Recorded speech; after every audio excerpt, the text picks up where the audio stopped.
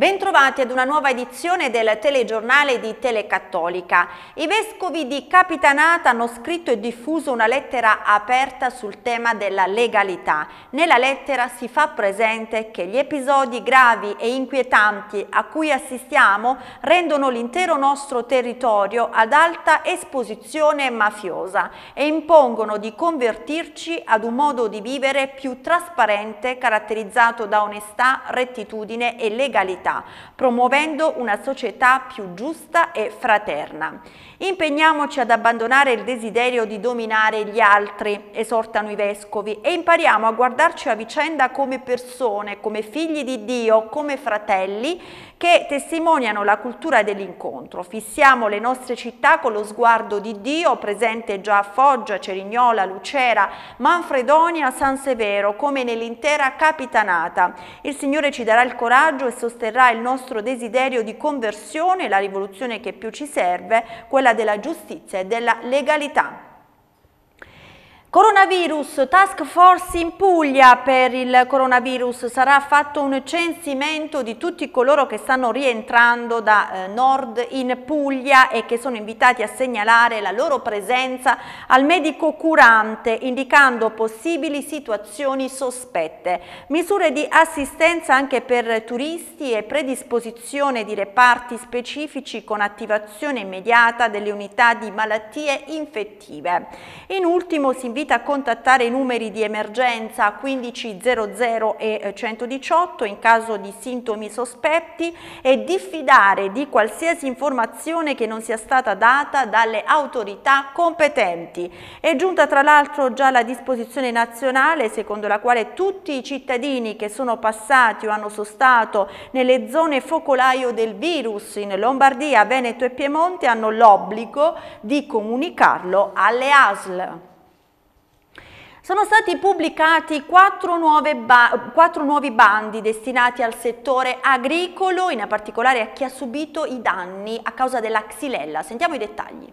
Dopo il decreto ministeriale arrivano quattro nuovi bandi per il sostegno al settore agricolo colpito dalla Xylella. È terminato il ciclo di riunioni convocato dal presidente della regione Puglia, Michele Emiliano, per discutere con il partenariato sociale del decreto ministeriale sul piano straordinario per la rigenerazione olivicola della Puglia.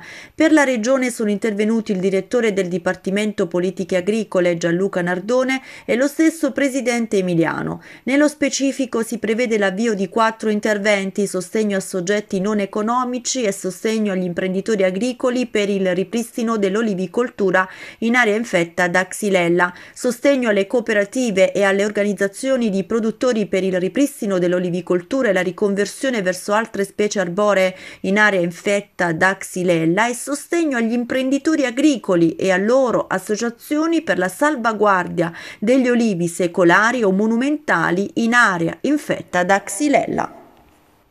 Domani 26 febbraio è il mercoledì delle ceneri. Alle ore 18 Monsignor Giuseppe Giuliano, vescovo di Lucera Troia, presiederà in cattedrale a Lucera la celebrazione. Tra le varie proposte quaresimali ci saranno nuovamente le staziones quaresimali presiedute dal vescovo e si comincerà giovedì 27 febbraio alle 17.30 a Troia dalla mediatrice alla concattedrale. Martedì 3 marzo a Bicca Saccari, giovedì 5 marzo a Celenza Valfortore, martedì 10 marzo a Castelnuovo della Daunia e giovedì 12 marzo a Lucera da Cristo Re alla Cattedrale.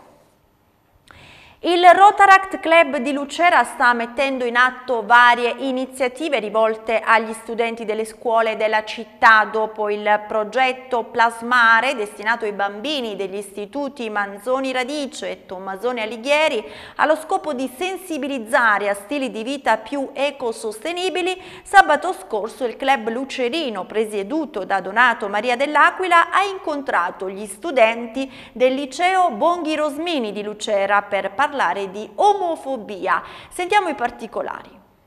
Il Rotaract Club di Lucera, presieduto da Donato dell'Aquila, ha organizzato un incontro con i ragazzi dell'Istituto Bonghi Rosmini di Lucera sul tema Stop Omofobia. Il Rotaract intende promuovere attraverso diverse iniziative il contrasto ad ogni tipo di discriminazione.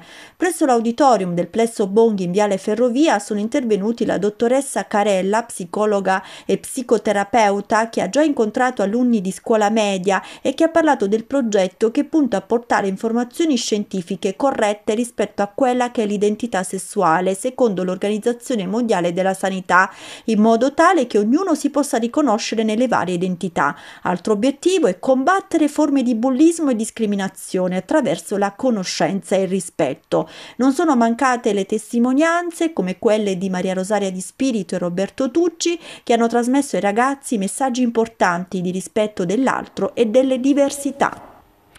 Sono stati diffusi attraverso i social e le testate giornalistiche locali i numeri dei biglietti estratti vincenti della lotteria Green Carnival 2020, più eh, di 20 premi offerti da vari esercizi commerciali di Lucera. L'estrazione eh, si è tenuta pubblicamente sabato scorso in piazza Matteotti a conclusione della sfilata di questa prima edizione della Gran Parata di Carnevale. I primi tre biglietti vincenti vincenti sono primo premio crociera per due persone, numero vincente 2049, secondo premio TV 55 pollici, numero vincente 0312, terzo premio smartphone Huawei, numero vincente 4701. Si può consultare tutto l'elenco completo eh, dei biglietti vincenti sulla pagina Facebook ufficiale del Carnevale di Lucera. Sport, la Federazione Italiana Pallacanestro ha pubblicato quello che sarà il calendario dei playoff, la Sveva Pallacanestro Lucere è pronta a disputare questa nuova fase del campionato. Sentiamo. Campionato di Serie D di basket. La Federazione Italiana Pallacanestro Puglia ha pubblicato i nomi delle squadre che andranno a formare i due gruppi di pool promozione. Le vincenti dei due gironi guadagneranno la promozione in Serie C Silver. Diversamente dagli anni passati, quest'anno le squadre porteranno in dote nella seconda fase i punti acquisiti con le sole squadre incontrate nella regular season, che rincontreranno nel proprio girone di pool promozione.